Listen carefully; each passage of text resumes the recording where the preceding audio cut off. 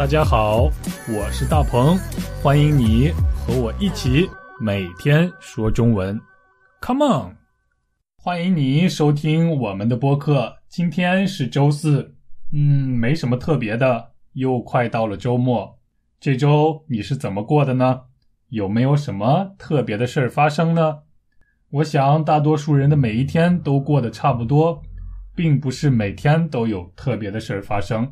那么今天你就跟我来学一个比较特别的中文表达，怎么样？今天的词汇是动静，动静，它的发音是动静。动是运动的动，活动的动；静是安静的静。不过声调不是四声，而是轻声，也就是没有声调。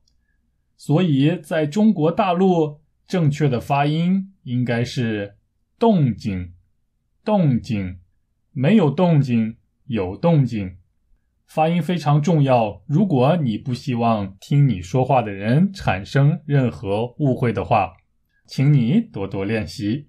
不过在台湾，人们的发音就是动静，动静。如果你去中国大陆，你可以说动静。如果你去台湾的话，你就可以说动静，动静。那么动静是什么意思呢？我来告诉你，动静的第一个意思就是说话或者活动的时候发出的声音。第二个意思就是消息、信息、情况。了解了吗？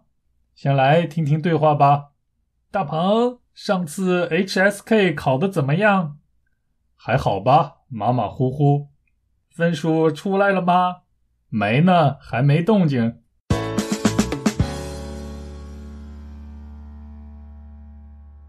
嗯，我们经常说有动静，没有动静，有没有动静？有动静就是有声音、有消息、有情况；没有动静。就是没有消息，没有声音，形容十分安静。我们还可以说什么动静，那就是什么声音的意思啊。一般晚上睡觉的时候都非常安静，所以只要有任何一点声音，我们都可以听到。我们突然听到了什么声音以后，我们就可以说：“嗯，那是什么动静？什么动静？”那就是问什么声音的意思。还有，如果你用你的手机给朋友发了一条短信，那么你等待朋友回复你的短信，但是朋友一直也没有回你的短信，你就可以说怎么还没有动静？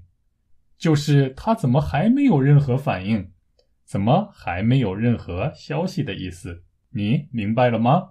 不论你喜欢还是不喜欢说中文播客，都请你有一点儿动静，那就是请你给我一些回馈，请你发出一些你自己的声音。好了，今天的节目就到这儿吧，我们明天再见，祝大家晚安。大鹏，上次 HSK 考的怎么样？还好吧，马马虎虎。分数出来了吗？没呢，还没动静。